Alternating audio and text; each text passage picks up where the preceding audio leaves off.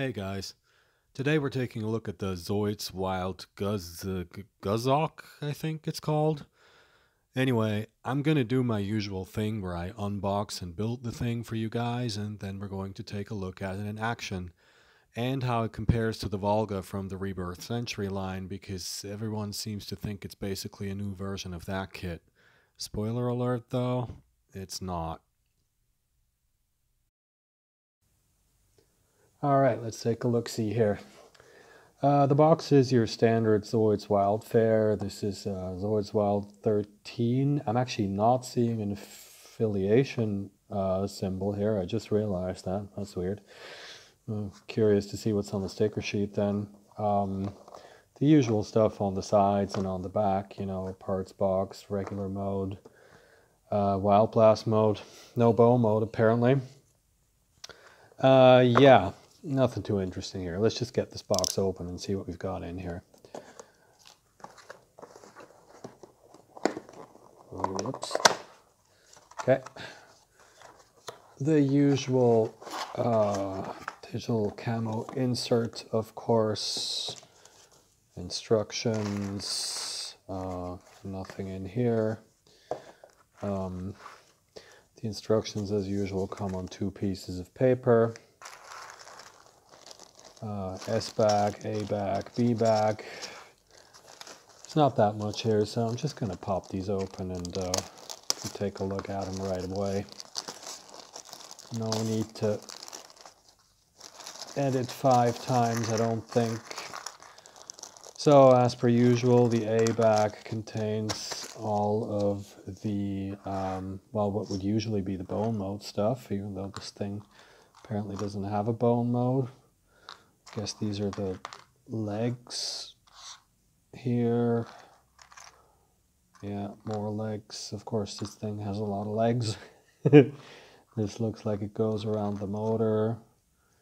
Yeah, a lot of just really mechanical looking parts and not really terribly interesting. A couple of these bone piston things here that you find on every Zoids Wild kit. So, let's take a look at the B bag.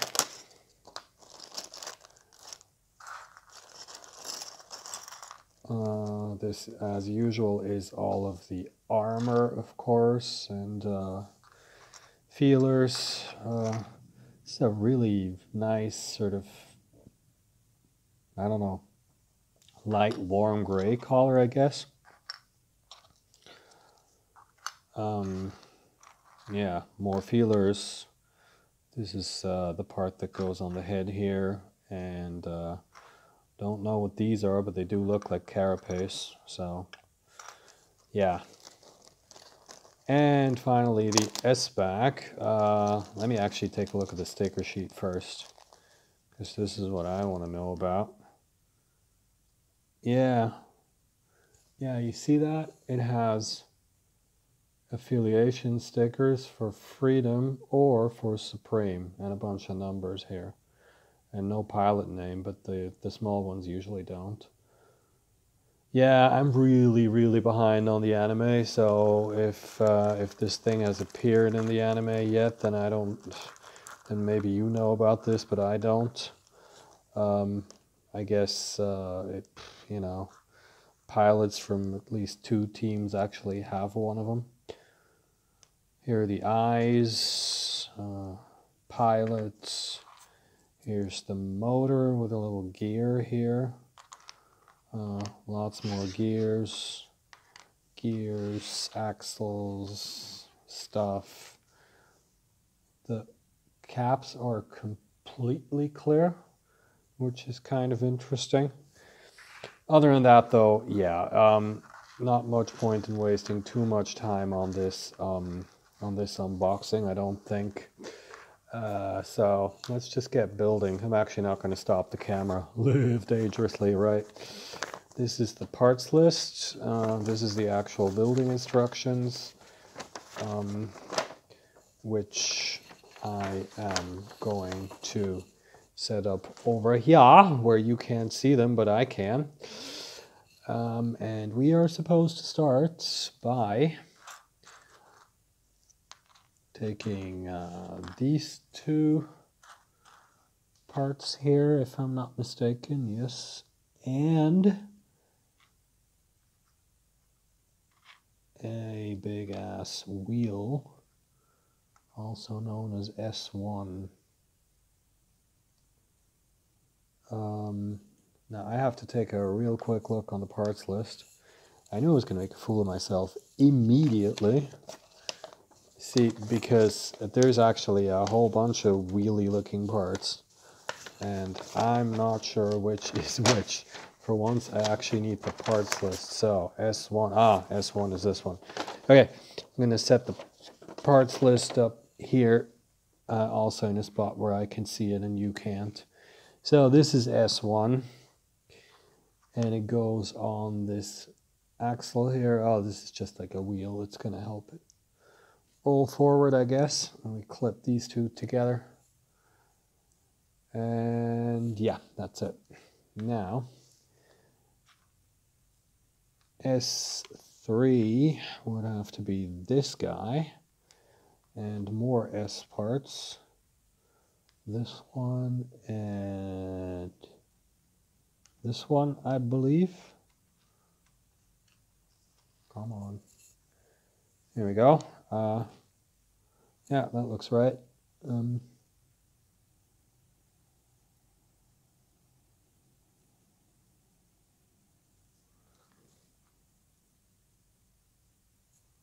Yeah, they go together like this. Here's the uh, the wheel, and we pop these two together like so. Okay, all right. Well, oh, looks like the front of a motorcycle. Haha.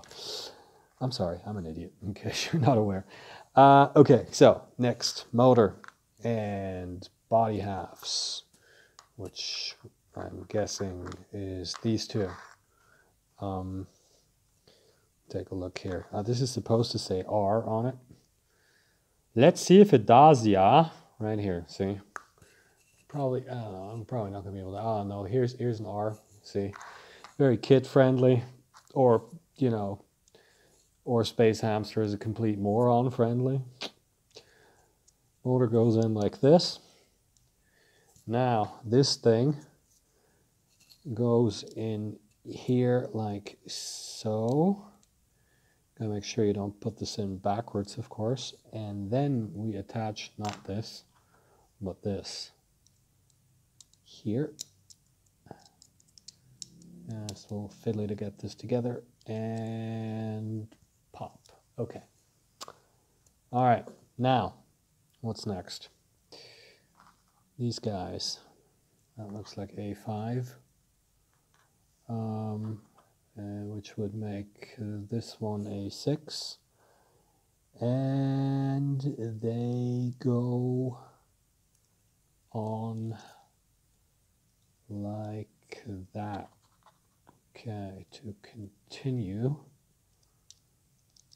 building up the torso. That don't look right. Um, it is though. Wait. Do I have the wrong part again? Yes, because I am a colossal fool. This one, oh, and this one. Okay. All right then, let's try this again. Yeah, that makes more sense like so. Okay, next. I, have to say, like, as I'm talking to you about this, I am actually looking at the, uh, I am actually looking at the parts list because all this mechanical stuff, it's, it's a little confusing if you're just looking at the building instructions. You actually really, it really helps if you're looking at the parts list where you have pictures of these things where it's where they're a bit more easily sort of identifiable. Um, okay. All right, so uh, it uh, goes together like this. Now, all right. Now the other wheelie thing here. Uh, goes on like oh this is actually uh, this is the head. See here's where the eyes are going to go. Uh, goes on by means of attaching part number A9 which I think is one of the ones. This is A9 and it goes on this peg here upon which we attach this uh, like so and secure it with a cap. Excuse me with a cap. And um, next is this one.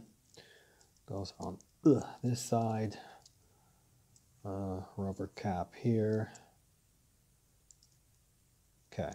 Now see this is ratcheted here doesn't really seem to do anything though it's just I mean the head is not loose at all but it's not the ratcheting here it's just it's just friction from uh, from the caps and the parts on the sides holding it in place. Okay, S5. Oh, we're getting to the actual mechanics of this thing. S5 is this little gear here, which goes on this peg, like so. Um, and then next, we put, hold on, let me do it like this.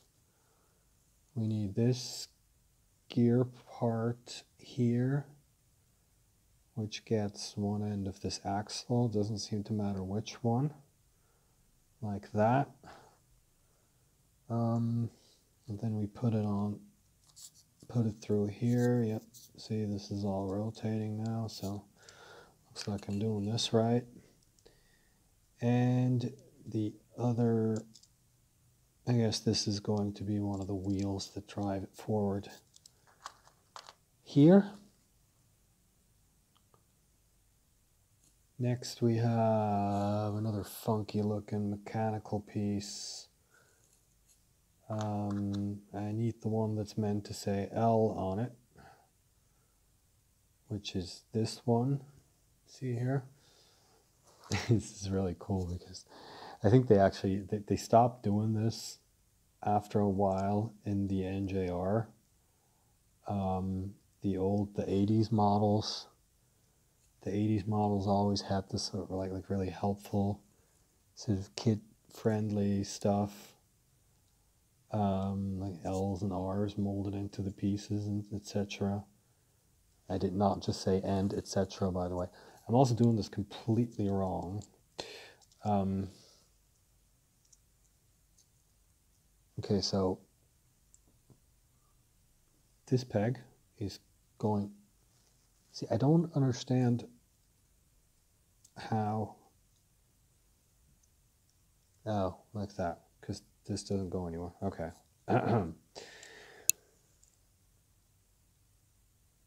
Uh, sorry, just checking the clock on my camera. Yeah, when I when I watch this back afterwards, I'm gonna be embarrassed, um, as usual. But, you know, if you've been watching these reviews, you're kind of used to it by now, aren't you? I'm always making an ass of myself. Um, S10. S10. That would be this one. No? Yeah, there's two of these. So which one is it? I guess this one. I mean, it stands to reason that this would be on the outside, right? So that goes on here and threads into into this. Something to do with the movement, I'm sure. Smart observation there. No kidding, this is something to do with the movement. Um, gee, I wonder if all these moving parts have something to do with the movement. Ugh. Me smart. With some more T smart. Okay. Um, in my defense, though, it's a bit difficult to figure out what all this is going to do eventually. Um, okay. Let's get this right the first time. Hmm? Here we go. Plugs is in here, yeah and then this on the back here. I have no idea why I'm doing a German accent, by the way. It's only sort of offensive because German is actually my first language. Um, and this.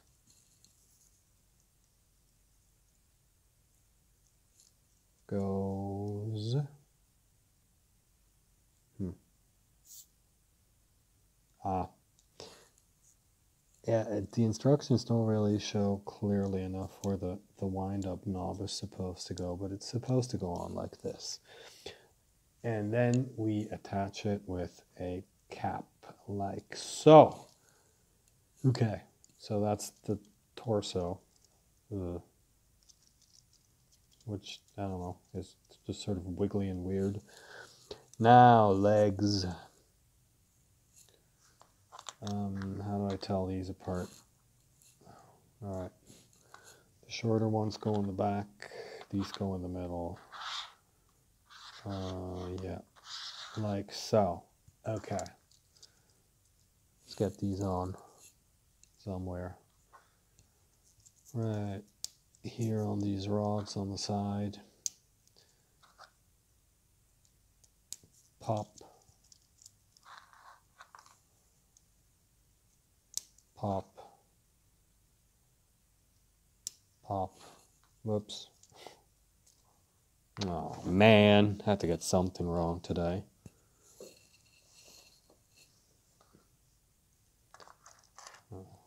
pull this off.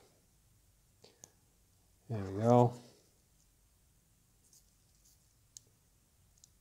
For the dumb kits in the back. Yeah. And pop. Well, that's a complete bone mode. I don't understand why the I don't understand why the box doesn't show a bone mode. Also, the instructions do in fact say this is bone mode and that you can wind it up at this point using one of these.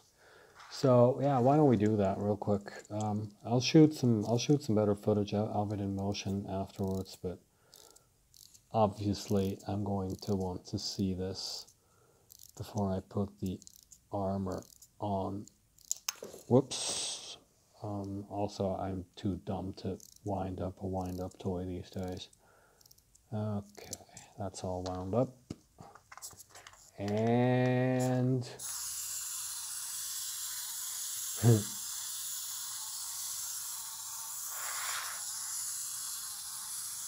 it looks a bit like Molga from the old release. Also goes really far. across my cutting mat three times. That's pretty cool. I mean, if, if you've been following my reviews, you know I've been I've been testing them on this cutting mat here, and a lot of them couldn't even make it across one time. This guy like traveled all the way across a couple of times. Pretty cool. All right, so eyes which unfortunately um, are of the uh, poorly distinguishable variety again. Okay. Here's a good way to figure it out that I've just figured out. if you lay them down like this and they face ever so slightly upwards, this is how they go on. So uh, or drop it 15 times. This one goes in here.